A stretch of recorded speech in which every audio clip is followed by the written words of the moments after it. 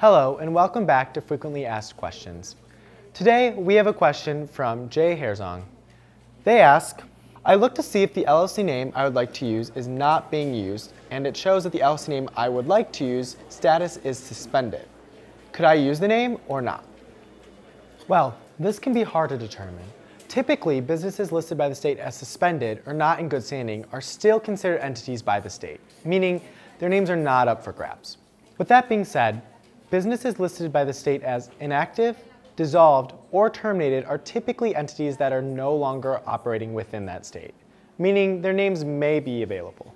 We recommend double checking with your state's Business Services Division to confirm that a business name is available for use before you begin the filing process.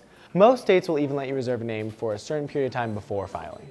Thanks for watching, and for more information on naming an LLC, check out howtostartanllc.com.